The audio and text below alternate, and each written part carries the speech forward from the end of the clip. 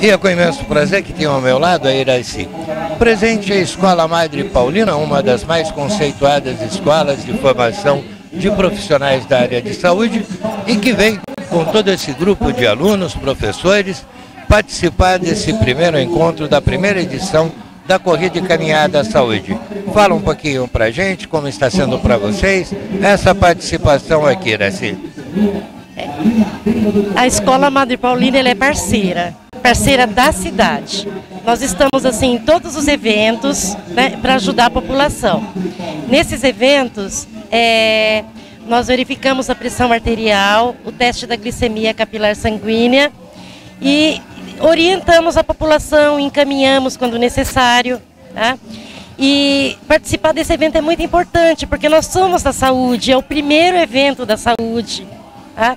Então é um grande prazer estar aqui, é um grande prazer participar com os alunos, tá? E a Madre Paulina agradece o convite.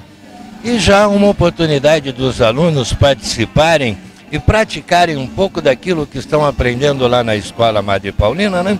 Aquilo que vão levar ao longo de sua vida, praticar, servir a população, servir a todas as pessoas, não é, Iraci? Ah, com certeza, mas todos os alunos que estão aqui já estão aptos, tá? Eles já sabem realizar o procedimento.